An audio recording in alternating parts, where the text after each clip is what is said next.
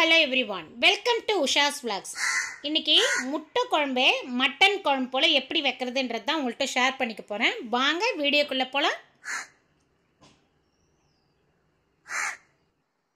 இன்றைக்கி வெனஸ்டே பாருங்க முட்டை குழம்பு தான் வைக்க போகிறேன் அதுக்கு தேவையான பொருளாக ரெடியாக எடுத்து வச்சிட்டேன். ஃபஸ்ட்டு வதக்கி அரைக்க வேண்டியதாக ரெடி பண்ணி வச்சுருக்கேன். சின்ன வெங்காயம் ஒரு பதினஞ்சு சின்ன வெங்காயம் அப்புறம் பூண்டு இஞ்சி. இஞ்சி பூண்டு பேஸ்ட் இருந்தால் ஓகே ஆனால் வந்து வதக்கி அரைக்கிறப்ப அது ஒரு டேஸ்ட்டாக இருக்கும். அப்புறம் தேங்காய் பத்தை சோம்பு ஹாஃப் ஸ்பூன் அப்புறம் கருவேப்பிலை. எனக்கு எப்பயும் கருவேப்பிலை வாசம் பிடிக்கும்? அதனால ஒரு ஒரு நாலஞ்சு இது எடுத்திருக்கேன். ஒரு பச்சை மிளகாய் இப்படி கீறி வச்சுருக்கேன். சின்ன துண்டு பட்டை ரெண்டு கிராம்பு ஒரு ஹாஃப் ஸ்பூன் ஒரு ஸ்பூன் அளவுக்கு பொட்டுக்கடலை. அப்புறம் எண்ணெய் எடுத்து வச்சிருக்கேன். கல் உப்பு. இப்போ வதக்கிறதுக்கு வானலும் ரெடி ஆயிருக்கு. ஃபர்ஸ்ட் வதக்கி அரைக்க வேண்டியதா வதக்கிடலாம். எண்ணெய் ஊற்றிக்கலாம் இப்போ வதக்கி எடுத்துட்டு இந்த வானலே தான் செய்ய போகிறேன் அதனால எண்ணெய் கொஞ்சம் கூடுதலாக இருந்தால் தப்பில்லை. வதக்கி எடுத்துட்டு அந்த எண்ணெயில திரும்ப நம்ம கொஞ்சம் பட்டை கிராம் போட்டு தாளிப்போம். எண்ணெய் ஹீட் ஆகணும்ல அவசியம் இல்லை. தேங்காவை தவிர்த்துட்டு மற்றதெல்லாம் இப்பயே போட்டுடலாம் சின்ன வெங்காயம் பூண்டு இஞ்சி தேங்காய் வந்து லாஸ்டா நிறுத்திட்டு அந்த ஹீட்ல போட்டு அரைச்சிருவேன். சோம்பு கருவேப்பிலை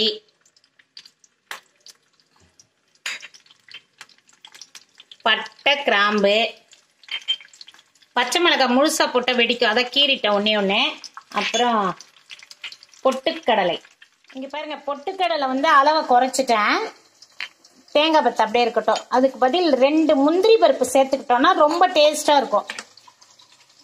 முந்திரி பருப்பு வேண்டான்றவங்க பொட்டுக்கலை இன்னும் கொஞ்சம் கூடுதலாக போட்டுக்கணும்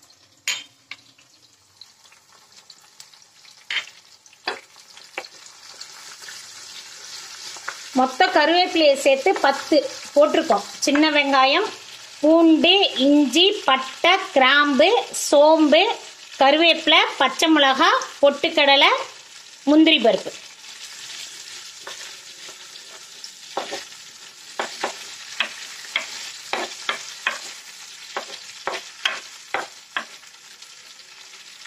நல்லா கொஞ்சம் வதங்கட்டும். வாசம் வர அளவுக்கு நல்லா வதங்கட்டும். முட்டை குழம்பு வந்து ஏற்கனவே வீடியோ போட்டிருக்கேன். இப்போ வந்திருக்க ஃப்ரெண்ட்ஸுங்களுக்காக நான் திரும்ப இது செய்கிறேன் இந்த முட்டை குழம்பு செஞ்சீங்கன்னா மட்டன் குழம்பு டேஸ்டில் இருக்கும். அடிக்கடி செய்வீங்க. முட்டை பார்த்தீங்கன்னா ஒரு தண்ணியில் கொஞ்சம் போட்டு வச்சிருக்கேன். கெட்டு போயிருந்தால் அது மேலே வந்துடும் எடுத்துடலாம் இல்லையா? இப்போ இது எல்லாம் நல்லா இருக்கு. கொஞ்சம் கல் உப்பு போட்டு வச்சிட்டேன். வாஷ் பண்ணிட்டு உடச்சி ஊற்ற இங்கே பாருங்க நல்லா வதங்கிடுச்சு. வாசம் அட்டகாசமாக வருது. எடுத்துட போறேன். ஸ்டவ் நிறுத்திட்டு இங்கே பாருங்க. இந்த எண்ணெய் இல்லாமல் இப்படி எடுத்து கொஞ்சம் ஆற விட்டு அரைச்சிக்க போகிறேன்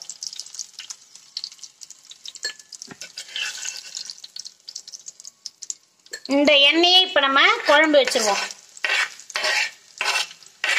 நான் ஏன் இந்த பெரிய சட்டி எடுத்துக்கிட்டேன்னா முட்டை உடச்சி ஊற்ற மட்டும் இப்பயும் அகலமான பாத்திரமாக வச்சு செய்யணும். அப்போ தான் ஏற்கனவே வந்து நம்ம போட்டு விட்டு மிக்ஸ் பண்ணக்கூடாது. ஒன்றோடு ஒன்று இடிக்காமல் போட்டு விட்டோம்னா கொஞ்சம் வெந்த அப்புறம் திருப்பி விட்டால் நல்லாயிருக்கும்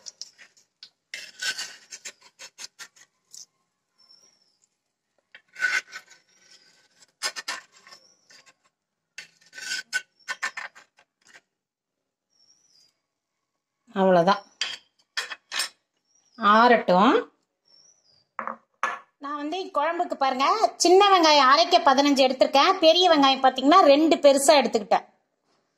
அப்புறம் ஒரு தக்காளி பழமா அப்புறம் ஒரு சட்னிக்கு எடுத்துட்டு பாதி த தக்காளி இருக்கு அதையும் இப்போ போட்டுக்க போகிறேன் அவ்வளோதான் கட் பண்ணிக்கலாம். இப்போ ரொம்ப பெருசு புதுசாக தொடவே ஒரு மாதிரி இருக்குது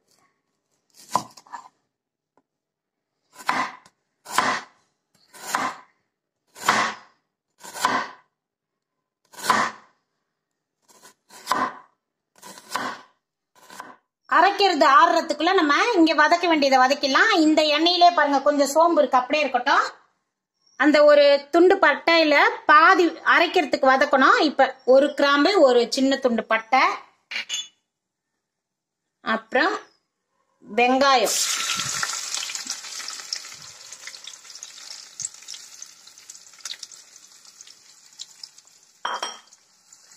போட்டு நல்லா வதக்கிக்கலாம். இது கண்ணாடி பதம் வரட்டும் அப்புறம் தக்காளி போட்டுக்கலாம். இங்க பாருங்க இது இந்த ஹீட்லே வந்து இந்த தேங்காய் பத்தை போட்டிருக்கேன் அவ்வளவுதான். போதும் நான் இதை வந்து வதக்கறதுல போடல. இப்ப இதை நல்லா சட்னி பத்துக்கு அரைச்சி கொண்டு வந்துடுறேன். இங்க பாருங்க நல்லா கொஞ்சம் கண்ணாடி பதம் வந்துருச்சு. இப்ப நம்ம தக்காளியை போட்டுடலாம்.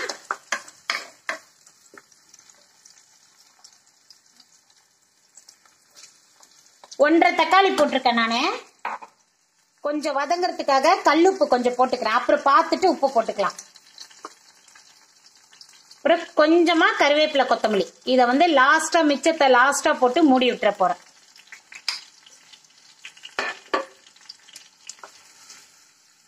இங்க பாருங்க நல்ல வெங்காயம் தக்காளி பாருங்க. போட்டது தெரியாம நல்லா சுருண்டுடுச்சு. இப்ப நானே அரைச்சிட்டு வந்துட்டேன். ஆற விட்டு இங்க பாருங்க. சட்னி பத்துக்கு நல்லா அரைச்சிட்டு வந்துட்டேன். இப்ப வந்து இதை இதுல ஊத்திக்கலாம். ஊத்தி தேவையான அளவு தண்ணி ஊத்திக்கலாம். தண்ணி நல்லா கொஞ்சம் ஊத்திக்கிறேன்.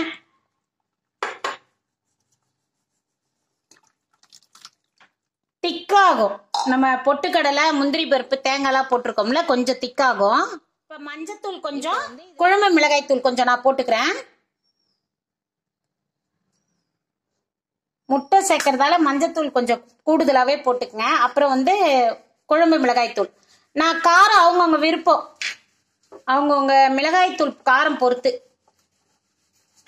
இது நல்லா பச்சை வாசம் போக கொதி வரட்டும் அவ்வளோதான் லாஸ்ட்டாக முட்டையை உடச்சி ஊற்றிக்கலாம் இங்கே பாருங்க நல்லா குழம்பு ரெடி ஆயிடுச்சு. பச்சை வாசம் போயிடுச்சு பாருங்க. நல்லா கொஞ்சம் சுண்டி வந்துருச்சு. உப்பு மட்டும் தேவைப்பட்டதே நான் நடுவில் பார்த்துட்டு போட்டுக்கிட்டேன். இப்போ வந்து நம்ம முட்டையை உடச்சி ஊற்றிடலாம் சிம்மில் வச்சுட்டு நான் சட்டினவே நிறுத்திட்டே ஊத்த போறேன். இல்லைன்னா ரொம்ப கொதிச்சுக்கிட்டு இருக்கா. கையில அந்த சூடு படுது. நிறுத்திட்டேன் நான். பாருங்க இதுக்கே கையில அனல் தாங்கல.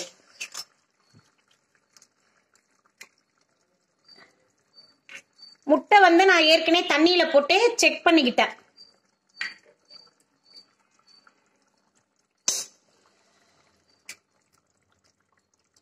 எட்ட எட்ட ஊத்திக்கணும்.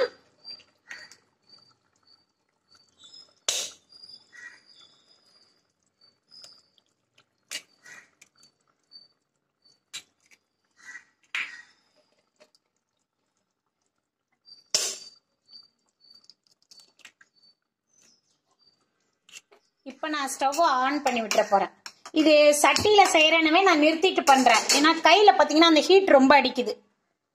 இப்போ வந்து நல்ல சிம்மில் வச்சு விட்டுருக்கேன். இப்போ கரண்டியே போடக்கூடாது. ஒரு ஒரு நிமிஷம் ரெண்டு நிமிஷம் கழிச்சு தான் கொஞ்சம் நேரம் முட்டை மாறின அப்புறம் பரட்டி விட வேண்டியதுதான். இங்கே பாருங்க ரெண்டு நிமிஷம் ஆயிடுச்சு. நம்ம லைட்டாக இப்படி திருப்பி விட்டுறலாம்.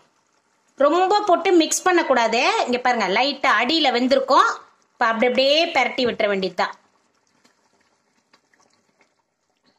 உள்நீச்சல் அடிச்சுதான் பார்க்கணும்னு நினைக்கிறேன். எங்க இருக்குன்னே தெரில போட்டதெல்லாம். சரி எப்படியாவது தேடி கண்டுபிடிச்சு திருப்பிடுறேன். பாருங்க. ம். இங்க பாருங்க எப்படியோ கண்டுபிடிச்சு திருப்பி போட்டுட்டேன். இப்ப நான் ஸ்டவ் ஆஃப் பண்ணிடுறேன். ஏன்னா இந்த சட்டியில இன்னும் கொஞ்ச நேரமே கொதிச்சுக்கிட்டு இருக்கோம். அப்புறம் ரொம்ப திக்காகும். அதனால நான் ஆஃப் பண்ணிட்டேன். இப்ப இந்த ஹீட்ல மிச்சம் இருக்க கருவேப்பிலை கொத்தமல்லி இப்படி போட்டு விட்டுறேன். வாசமா நல்லா இருக்கும். நான் ஒரு பவுலுக்கு டிரான்ஸ்ஃபர் பண்ணிடுறேன். இங்கே பாருங்க ரொம்ப சூப்பராக டேஸ்டாக இருக்கு முட்டை குழம்பு. கண்டிப்பாக இப்படி ஒரு தடவை செஞ்சு பாருங்க. இன்னைக்கு நான் ரெசிபியை தான் ஷேர் பண்ணியிருக்கேன். பிளாகா போடலை. இந்த வீடியோ உங்களுக்கு பிடிச்சிருந்தனா ஃபர்ஸ்ட் டைம் உஷாஸ் ஃபிளாக்ஸ் பார்க்குறீங்கன்னா மறக்காமல் சப்ஸ்கிரைப் பண்ணுங்க. லைக் பண்ணுங்க ஷேர் பண்ணுங்க கமெண்ட் பண்ணுங்க. பண்ணுங்க பண்ணுங்க. பண்ணிக்கிட்டே